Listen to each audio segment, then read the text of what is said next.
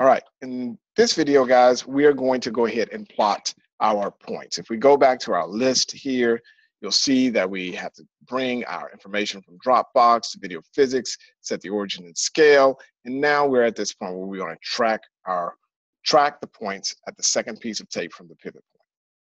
So we're not interested in this piece of tape. We're interested in the second piece of tape. So let's just go ahead and start tracking.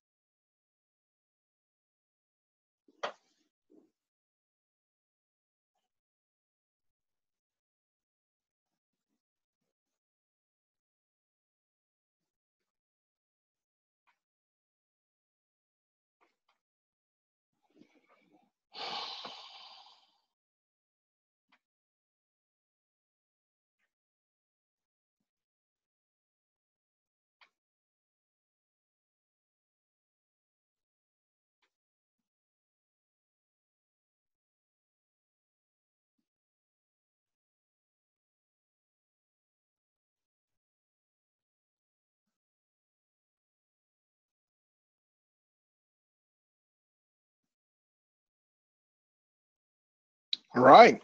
So our points have been collected here. Okay. Um, the next thing that we want to do is go ahead and upload this to Dropbox. And this is going to be with our video and points. So see if I can actually open that. I don't know if I can.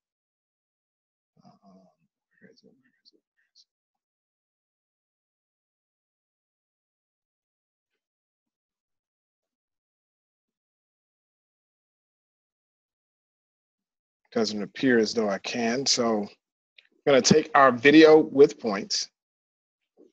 And then we want to open this in Dropbox. So you probably have to choose open in, but you can always import with Dropbox. So I'm gonna go directly to Dropbox. And then I want to place this in extending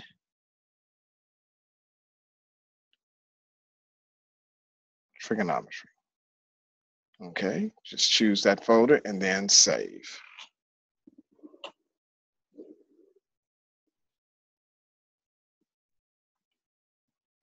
So now that it's saved, notice that it has a name associated with the movie. So you don't have to rename this at all, which is primarily the, the uh, point of me having you guys name this video in uh, your experiment.